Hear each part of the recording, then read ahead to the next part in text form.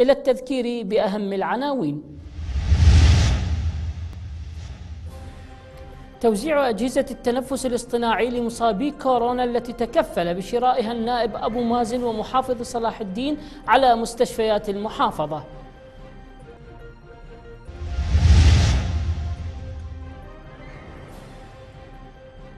محافظ صلاح الدين يستحسن موافقة وزير الكهرباء على زيادة حصص المحافظة من الطاقة لزيادة ساعات تجهيز المواطنين.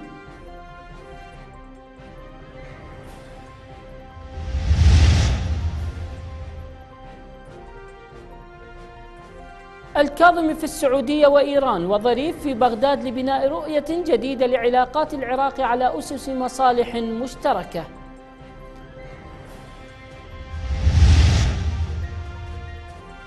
الصحة تؤشر تراجعا في عدد إصابات كورونا مع تزايد معدلات الشفاء والعمليات المشتركة توسع دائرة نفوذها في المنافذ الحدودية.